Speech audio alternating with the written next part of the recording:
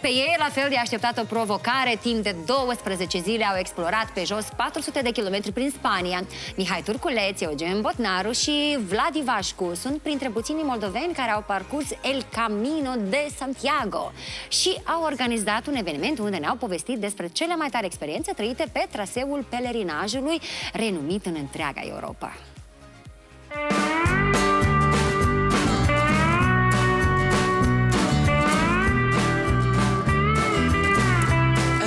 Camino de Santiago reprezintă unul dintre cele mai celebre trasee de pelerinaj din lume. Este localizat în Spania și se pare că mulți se aventurează ca să-l parcurgă. Excepție nu au făcut-o și trei moldoveni de ai noștri, în frunte cu fotograful Mihai Turculeț, care de mai bine de 5 ani tot visa să ajungă acolo.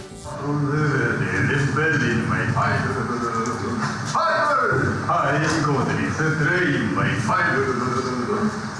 am mers din sat în sat, din oraș în oraș, am vorbit cu oameni de acolo și am înțeles ce înseamnă adevărata Spanie. Doar așa poți să, să înțelegi ce înseamnă o țară. Timp de aproape două săptămâni, prin ploaie, vânt și popasuri neplanificate, au parcurs 400 de kilometri după o rutină zilnică, acasă, la un duș cald, la o mâncare bună, cu familie, la un oficiu confortabil, ai nevoie de o escapadă care să te scoată din zona ta de confort uh, și să te readucă um, cu bateriile încărcate de bine. Nu e despre bani această călătorie, e despre, nu e despre ce cheltuie acolo, dar e despre ceea ce iei de acolo. Ne-a prins ploaia, ne-a prins uh, ninsoarea, uh, a fost câte, câte anotimpuri vrei acolo, cred că mai multe decât are natura, așa că ne-a fost și frig, ne-a fost și cald, fost, am fost și înghețați și uz și cum vrei. Despre această experiență băieții au relatat și pe paginile lor de pe rețelele sociale. Asta i-a motivat să dezvolte un asemenea parcurs turistic și în țara noastră. Aducem careva elemente de acolo și le implementăm la noi în Moldova și cam asta e scopul. Vrem să molipsim de călătorie.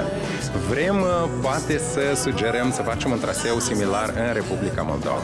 Și pe lângă oamenii din țară, să mai vină și oameni din afară, să valorificăm vinăriile, mănăstirile, locurile frumoase, conacurile, lacurile. Ar fi frumos ca, ca Moldova să fie descoperită de, de, de multă lume, pentru că cred că ai ce să vezi, ai ce să descoperi și aici. În primul rând, probabil, oamenii.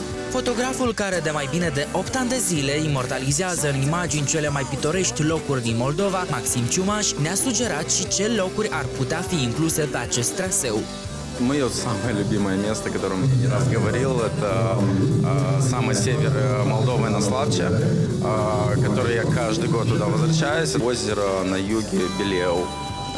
красивое место. Оно каждый год открывается по-своему. То есть э, когда-то оно мельче, когда-то оно глубже. Интересные птицы, постоянно разные. Moldova ne poate impresiona plăcut pentru că avem trasee nedescoperite care merită atenția, iar atât timp cât avem așa tineri entuziaști, le putem lua exemplu și susține inițiativa.